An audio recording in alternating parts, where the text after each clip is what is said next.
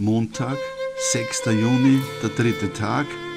Heute bis Genua, 330 Kilometer. Unwahrscheinlich aber wahr, wir wachen auf und es regnet nicht.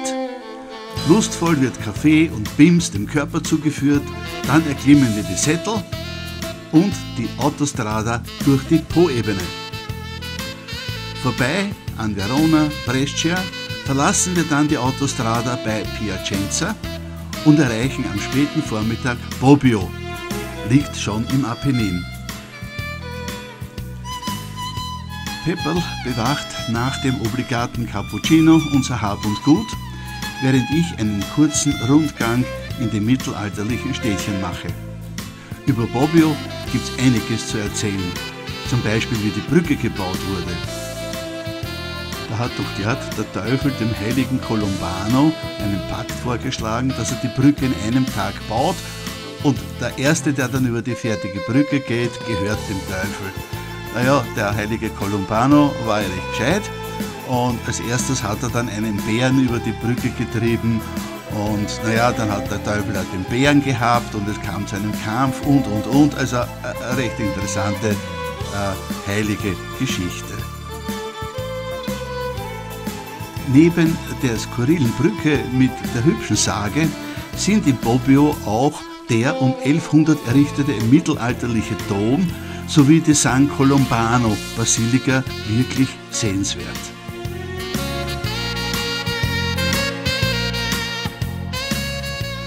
Weiter geht's dem Verlauf der S45 folgend und zwecks Mittagsrast biegen wir irgendwo ins Gemüse ab. Mitten in der Brotzeit taucht auf einmal über uns ein Wölkchen im Teppichformat auf und beschmeißt uns mit Wasser. Lächerlich. Bis kurz vor Genua passiert eigentlich nicht wirklich was Spektakuläres, nette Gegend, kein Verkehr, aber zunehmende Temperaturen. Wir kommen auch durch die Ortschaft Montocchio, wo wir vor einigen Jahren mit Helmut und Tamara kampiert haben. Bald aber ist mit der Beschaulichkeit vorbei, denn in Genua ist Rush Hour. Und das ist kein Lärchen. Der Gürtel am Freitag um 17.30 Uhr ist dagegen wirklich erholsam. Sowas kann man nicht beschreiben, das muss man erlebt haben. Aber irgendwie ist in dem von uns so empfundenen Chaos doch eine Ordnung drin, denn nichts passiert, jeder lässt den anderen doch überleben. Trotzdem, in dem Gewurl ist nicht, es nicht einfach, den Hafen zu finden und so wird ein ansässiger Zweiradfahrender Genueser an der Ampel zwecks Leithammelübernahme angehaut und mit unannehmlicher Geste winkt er uns, ihm zu folgen. Das war ein Erlebnis, wie wir mit dem dicken Blunzen den Rollerflitzer auf den Fersen waren. Wahrscheinlich war CNN eh live dabei. Kurzer Rede, langer Sinn, um 17 Uhr ist es geschafft. Wir sind am richtigen Pier, und nichts, aber schon gar nichts könnte uns veranlassen, diesen mit unseren Mopeden wieder verlassen. Ich besorge dann per Pedes ein paar Liter Flüssiges und einige Decker Festes, dann reihen wir uns zur Aufnahme in den Schiffsbauch ein. Kaum zu glauben, was da in den nächsten Stunden alles hineingekarrt wird. Die Warterei ist ziemlich langweilig, aber was soll's. Man kann sich als Landrate sowas schon einmal genüsslich ansehen.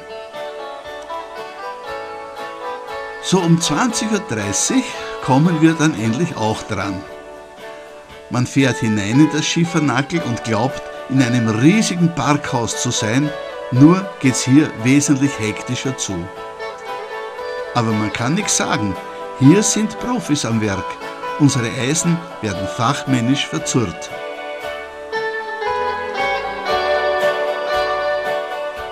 Pünktlich um 23 Uhr laufen wir aus, das Lager ist bereitet, wir sind frisch geduscht und den Rest kann man ja auf den Bildern nachempfinden.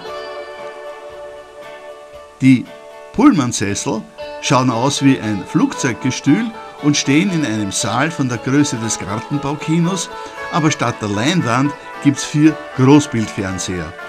Ich schätze, in dem Raum stehen etwa 200 bis 300 Gestühle.